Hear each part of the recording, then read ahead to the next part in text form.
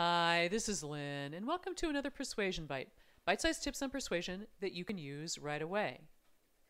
We live in fearful times, and fear is actually a good thing. It's why we're still around as a species. But there's a difference between fear and anxiety. And let's talk about what goes on in our brain with this stuff. Fear. You're outside wearing a mask, and suddenly you're surrounded by a group of people who are not wearing masks. What goes on inside your brain is there's a part of it called the amygdala. And it's the amygdala's job to look around for physical and verbal risks and threats and get you out of the way. And the most important way it does that is through fear. Oh, I might catch COVID. I need to get out of here. So, fear is an acute reaction to something that goes on, and its job is to, through fight, flight, or freeze, get you out of trouble. Here's where anxiety comes in. So, anxiety is once you get home and you've sheltered in place for 14 days and you've tested yourself and you don't have COVID, but you're watching the evening news and you're seeing the body count or the positivity count or that your state now has a whole lot more cases than it's ever had. And suddenly you're feeling very anxious about this.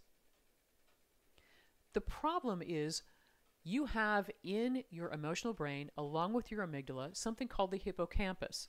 And it's the hippocampus's job to give you context, to say, okay, you're not around anybody who has COVID right now. You don't need to be afraid in this moment.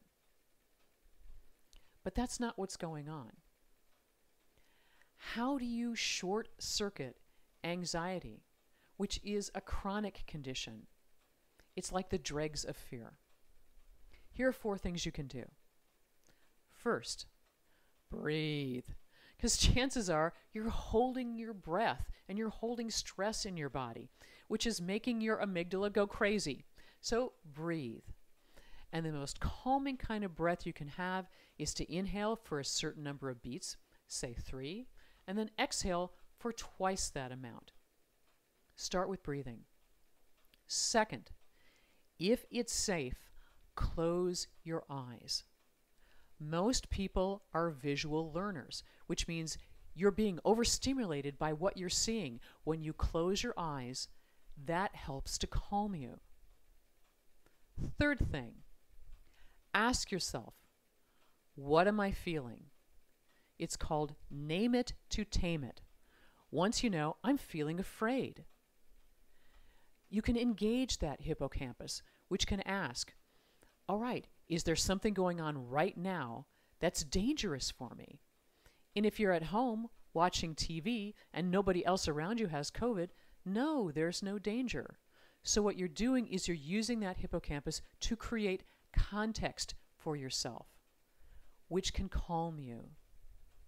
And then finally, do something that rewards you because you have a neurotransmitter in your brain called serotonin.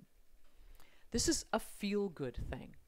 So if meditation calms you, or a hobby cal- calms you, or going outside where it's safe and walking around, or exercising, do things that release serotonin in your brain because when you're feeling good, it's awfully hard to be anxious. There you have it. Fear is an acute reaction to an environment that isn't safe. Anxiety is like a false emotion because there's no reason for you in this moment to be anxious. So know how you feel, identify it, calm yourself, do something good for yourself to short circuit that anxiety. Because we need you to be the most persuasive person in the room to help everybody else who's anxious. Thanks for watching.